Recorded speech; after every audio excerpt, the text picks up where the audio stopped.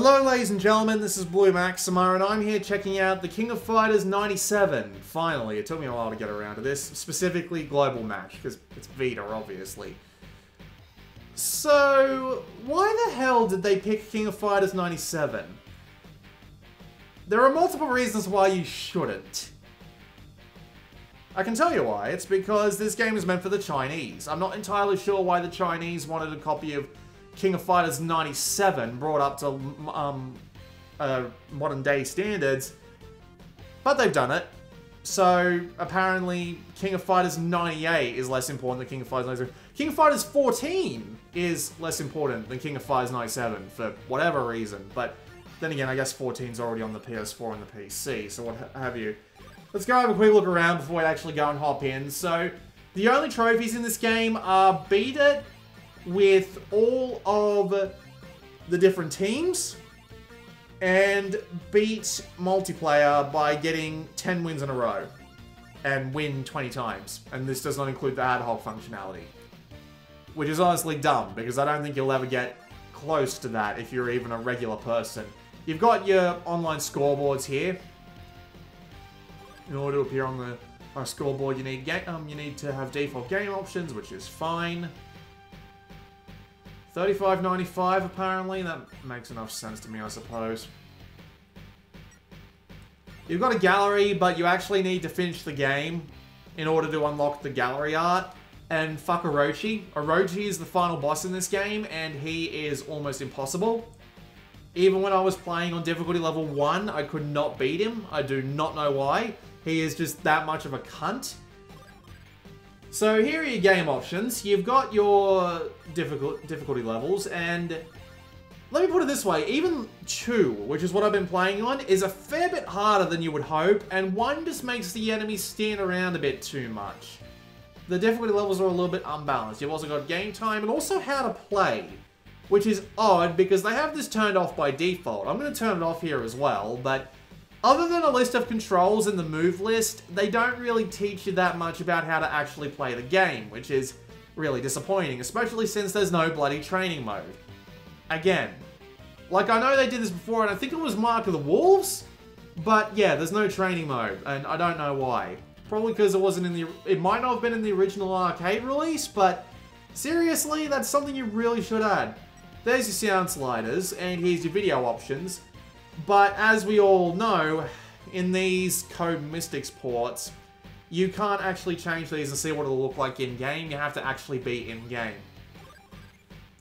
You do also have remappable controls, so I have remapped it to something that looks a little bit more familiar if you've played something like Mortal Kombat recently, but at the same time, the controls can act up a little bit because sometimes you'll be in the menus, like the actual in-game menus that aren't in the um, the actual menus that aren't in the arcade mode, you'll see what I mean.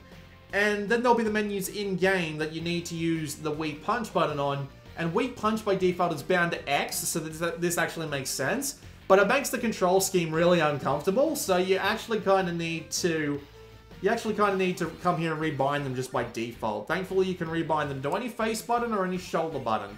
No analog stick binding, which actually disappoints me. I'd like to be able to turn, like, the right analog stick into a bind of its own, but I guess that's not a thing that you're allowed to do in this one, which kind of sucks, honestly. So yeah, as I said before, there's no training mode, and the modes you basically get are multiplayer, where you can find a match, create a match, and do an ad hoc session. I only managed to play a couple of games of multiplayer in this, and it was all at 300 ping, and the game ran so slow that it was basically unplayable, which to be fair, is about what you expect when you get into these things.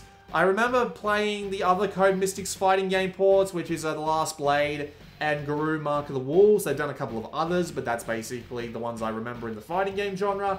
And they worked fine when I was with someone who was either on the continent or roughly around my continent. So I don't see any reason why this wouldn't work. As for why you'd want to bother playing KOF 97 instead of 98 or 14, I have no idea, but we will continue on. So the only modes you get are 3 versus 3, 1 versus 1, and then Survivor based on both score and time. And there's really no point in playing these three modes down here, so we're just going to head straight for team play. Now, this game is a 3-on-3 fighting game, and you can pick your team of three immediately. You've got your two different modes, which are basically just two different ways of getting your uh, Desperation attacks.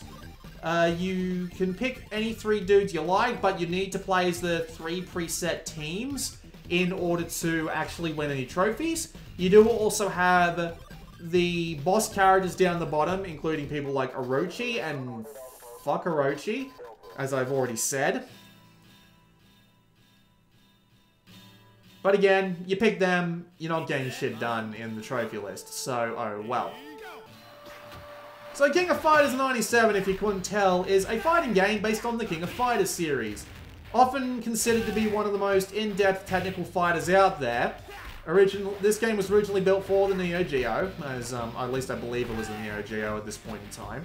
And the King of Fighters games, like, even if, like, even if you've got problems with, like, you know, 97 or 98 or 14 or whatever, whatever game it is that you're playing in the King of Fighters series, it's going to be a good King of Fighters game. It's going to be a good game in general, really, because King of Fighters games are always really well designed. They have fantastic character diversity, and by diversity, I mean diversity of mechanics.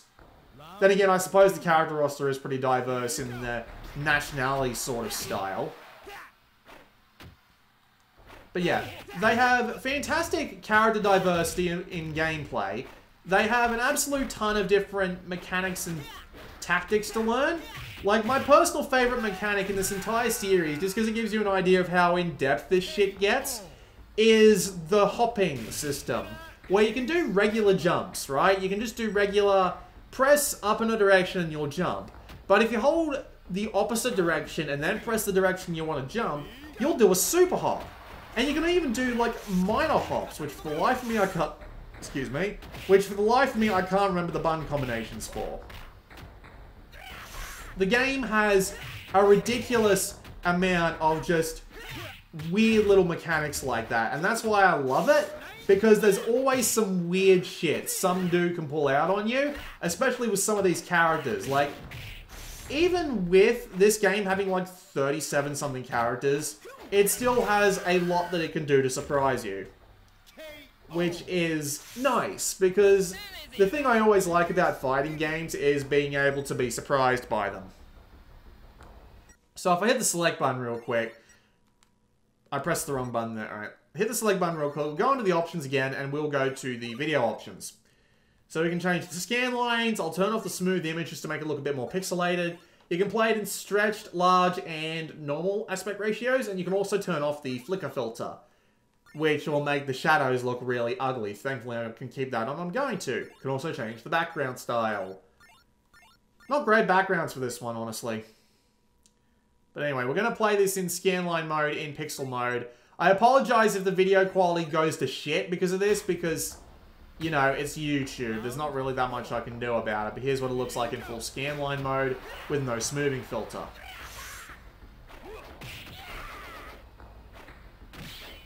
But look, even even after what I'm going to say about this game, King of Fighters is always a good fighting game. Like, while I would definitely recommend a different King of Fighters fighting game over this one, I would definitely say something along the lines of, at least if, you, if you're going to play any King of Fighters game, this isn't the worst start to them. But, this game has a lot of weird issues. Which makes me wonder, outside of the whole Chinese community thing, why did they bother bringing it over to us? The game has a bunch of what they call infinites, and infinites are pretty self-explanatory. They're combos that go on forever from specific characters, right? And anyone with a decent amount of skill will be able to pull them off with a bit of, like, you know, practice and stuff like that.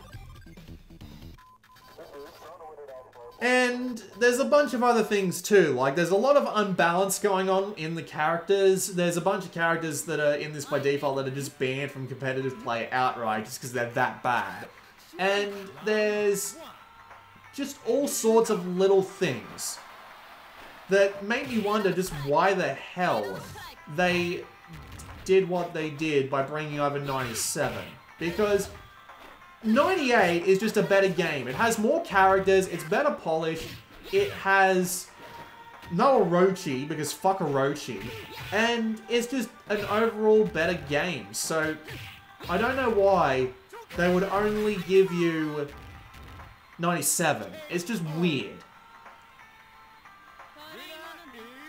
Not to mention that 14 exists, which has like 54 something characters, and that game is, despite the fact that it looks like a budget PS2 game from 2005, it is still one of the best fighting games I've ever played.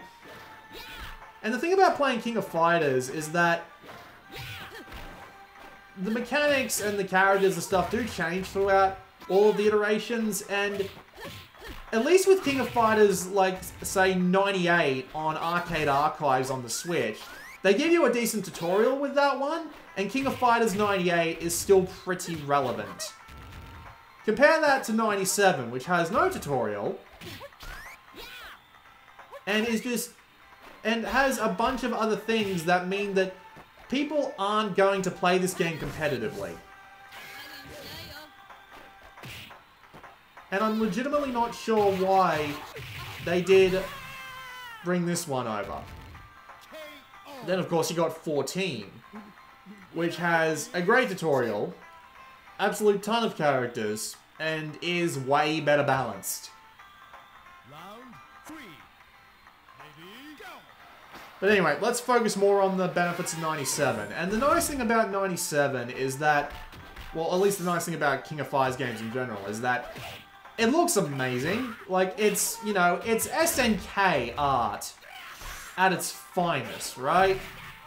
98 doesn't look that much different from 97 just because it was the... Perfect. Jesus. But yeah, it still looks great, even to this day. I'm going to put it back to how it was before, because admittedly, all, all the scan... Whoops. All the scan lines and stuff just aren't my thing.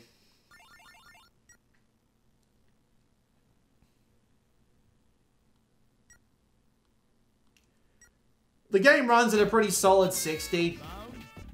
I haven't noticed anything in the way of performance drops, except ones that seem to be in there on purpose. Just because that's that was the way they made the game originally. And, you know... When you build a fighting game around hardware inadequacy and then put it on a new platform, in order to make sure that you, um...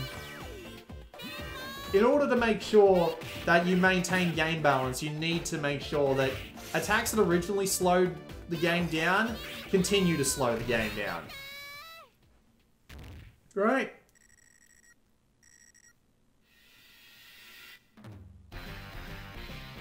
But yeah, otherwise the game seems to run absolutely fine. Admittedly, I don't have as much experience with 97 as I do 98 or 14, so I can't tell you if there's any like minor details wrong with KOF 97's port. And it still has all the strategy and fun and flair of the King of Fighters games with the ridiculous characters, the good move sets, and just the the strategy of deciding who to who to put out first, second, and third. All of that neat crap, it's still all here. And while I would definitely recommend you get a different King of Fighters game that isn't bloody... Isn't bloody, um, 97. It's funny, I believe you're actually able to get all of, like, the... Um, all of the, what's it called? The Orochi era games via, like, PSP transfer. Because there was, like, a PSP collection that had all of them in there. And I'm not entirely sure why they didn't do that, but they did, and it's weird. I admit that I am unfamiliar with my Billy Kane. I had a feeling I was going to get taken out there one way or another. Probably should have just ran out the clock to try and let them have as little health back as possible, but oh well.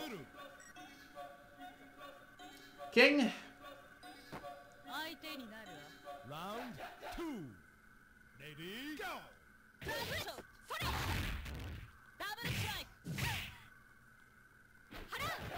Oh, you bitch. But yeah, the fighting is still satisfying. Stringing together combos and pulling off special moves all works fine on this thing's D-pad. It's... it's still a good fighting game, even with all its balance and infinite problems and stuff like that, but I imagine that as soon as you take this game online, you will start running into that problem, because the problem with a badly balanced fighting game is, of course, anyone who already knows the balance issues that were present in the game's original release is going to wipe the floor with anyone who doesn't. And that's why I recommend you don't start with 97, which is annoying because it's the only one that's available on Vita proper. I would have absolutely loved to have said, hey, we get 14. Like, 14 would have been the best fucking thing. Like, if 14... Whoops. If 14 had come out at any point, it would have been the top fighting game on Vita by far. Like, even beating the crap out of, like, say, Street Fighter 4, for example, or Street Fighter Cross Tekken, I should say. It would have just won that outright. But instead they had to go with 97. Which only the Chinese play.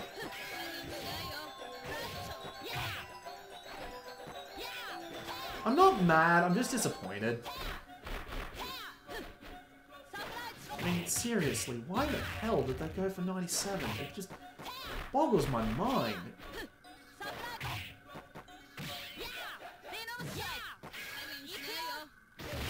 What was that? okay, that was fucking strange. Oh, I gotcha.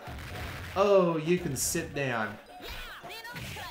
So yeah, the basic, um, the basic 97 arcade mode is pretty simple. You just go through and beat the crap out of teams of three, and eventually you'll fight like a mid-boss, then you'll get a couple more teams of three, then you'll get Orochi and fuck Orochi. And really there's not that much else to it. No extra modes or anything, which is a real shame outside of like the survival modes, which honestly mean nothing in a game like this. They're so easy to put in, it's not like it really matters. I don't know how you would extend the King of Fighters 97 with like a secondary special mode, but hell, even a tutorial would have been nice.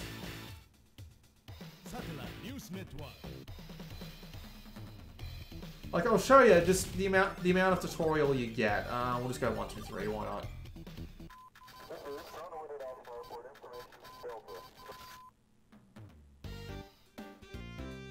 So I've hit the select button. We can go and check out the skill list right here. You can see all of the skills. Special moves, command moves, and your desperation moves. That is an absolute ton of moves on Kyo Kusanagi, by the way. And if you press the X button, it will let you see all of the different little moves you can do. I mean, to be fair, you could figure out a little bit of what's going on with some of the controls here, but this is really a game you either want one of two things. Now, the way I was originally introduced to King of Fighters was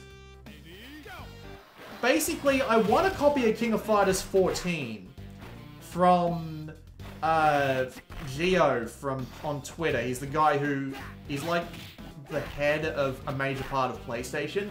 He's like, Who's the who wants like one of five King of Fighters 14 codes? I was like yes, and I was like number two. So I never actually go around to playing it too much until I played through um what was it called? Until I played through the arcade mode and I was like, this is okay. But then I actually went and played it with a bunch of my mates. We both uh, me and two of my mates, we all got together. I took my PlayStation 4 over. We all sat down, got a got two controllers out, and we just randomed everyone in the bloody game. We randomed our teams, and we played through and just beat the crap out of each other with all of the ridiculous characters. Like, One of my favorite characters in 14 isn't actually in this one, but he was the guy who could basically just teleport in the dust and we'd come up with ridiculous names for people. Like, uh, the one of my favorite ones that one of my favorite names that we had for dudes was um oh Jesus. One of my favorite names that we had for one of the dudes was Midget Freddy Krueger, because that was basically what he was. We called another lady boob window because it was incredibly obvious. And there were just all sorts of silly names that came up along with along the way there. That's one way to get into King of Fighters. The other way to get into King of Fighters is to go and watch like five hours of tutorials and go and practice over and over again all of the different kinds of mechanics because the tutorials on YouTube to explain these things literally go for hours. And King of Fighters 97 does not fit into either of those. Sure, you can take it around to a friend's mate place or with ad hoc play, which is supported in this version. Sure, you could do that, but it would be better to do it in 98 because there's more characters. It would be better to do it in 14 because there's more stuff that's worth laughing at because the designs mainly meant for 2D people look ridiculous on 3D and uh, and I mean ridiculous in an enjoyable way, not an over the top and just completely unignorable way. But still, I just and with King of Fighters 98 and 14 being the ones that basically everyone plays, just because of the fact that they're the actual proper balanced ones that are, like, not so much still supported, but everyone knows that King of Fighters 98 and 14, at least for everyone who's played those games before, knows that those are the games to go for. So, it just raises the question again of, seriously, why the hell didn't they port King of Fighters 98 or King of Fighters 14? It's just, it just doesn't make any sense to me. It's got the strategy, and it's still got some of the fun, but for a multitude of different reasons, when it comes to just the King of Fighters series in general, I can't recommend you get 97. The port's fine, and the game works as expected. But why would you get this over 98 on the Switch, 14 on the PS4, or just like any other fighting game, really? I mean, there's nothing that bad about King of Fighters 97 if you're playing it in single player, but there's next to no content. And again, you basically have to go wiki diving if you want to actually stand a chance to learn how to actually play the game.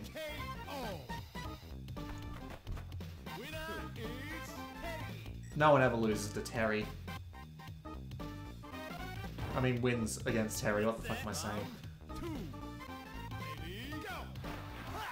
It's funny, because um, one of my mates, the only character he recognized was Terry Bogard.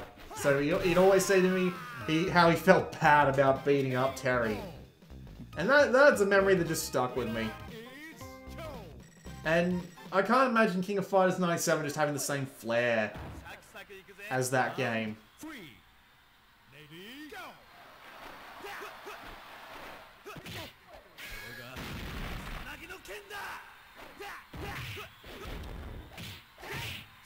Yeah, it's it's fine.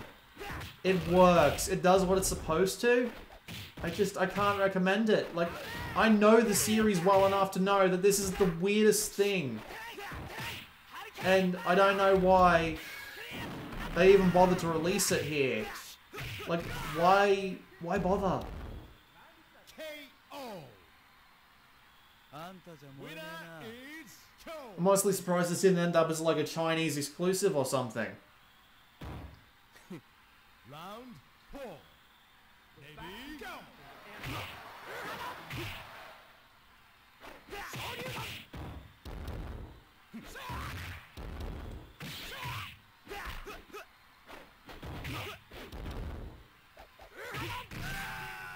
Well, that sucked. Andy Bogard versus, um, Christ, I can never remember his name. Billy Kane. Round three. Go! I guess if you're absolutely desperate for Vita native King of Fighters, it will do. But I know for a fact that you'll get a better first impression of the King of Fighters if you play either 98, whether it be on Switch or PC or what have you, or whether you play um, King of Fighters 14 on PC or PS4. I just know you will, because I know enough about the series to know that this is actually a fact. If you're absolutely desperate for King of Fighters, that's fine. And, you know, feel free to, um... Ah. That came down to the wire. I think we're done here.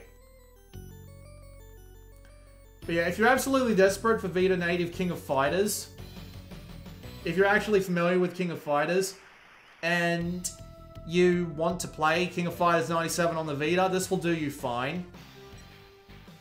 But if you're unfamiliar with King of Fighters, or if you're familiar with King of Fighters and this doesn't immediately appeal to you, there's no point. Because there are better ways to be introduced to the series than King of Fighters 97, despite the fact that it's still a pretty decent game in and of itself. I know I sound like a bloody, um, elitist, but it's true. Because, seriously, I had enough trouble getting into 14 when I first got it. As I said, I literally had to take it around to my mate's place, and we had to beat the shit out of each other for hours just to figure out what was going on and how exactly we're meant to play it. Because the King of Fighters 97, unlike the Last Blade, and... Why did I not say this in the middle of the game? You know what? Fuck it. We'll do one more in team play, just so I can actually get... Uh, tell you about actual King of Fighters. Why did I not say this in the middle of the damn game? Alright, we'll just go with the Terry Bogard, Andy Bogard, and Joe Higashi team, because why the hell not? But here's the thing about King of Fighters that makes it so beginner unfriendly. It's a very stiff game. Your movements are...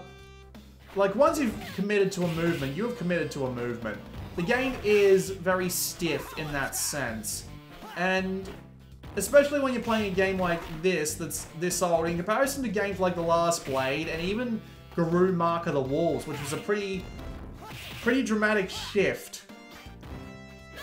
Those games are a lot more free-flowing and just generally more fluid than this game is, right? So you need to spend a fair bit amount of time just getting used to the fact that this game is so stiff. And then you've got all these weird new mechanics that you need to learn. And, like, bloody George Weidman did this absolutely fantastic little clip where it's basically him just going over all the mechanics and he's just basically falling into a pit of madness. It's... It's just weird. Why would they pick this game over the King of Fighters 98, which actually would do slightly better? Or the King of Fighters 14, Rito's just standing there. Uh, or the King of Fighters 14, where you just end up in that weird situation where it's all in 3D, but it feels like a stiff 2D game.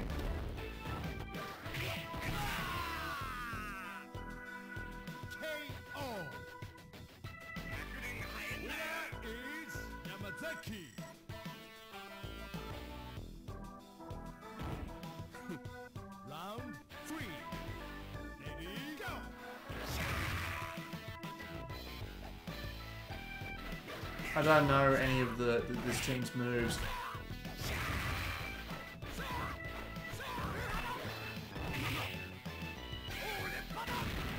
Wasn't expecting that to actually be a desperation move. That was bad. Alright, uh, desperation move. There we go. That's what that's supposed to look like.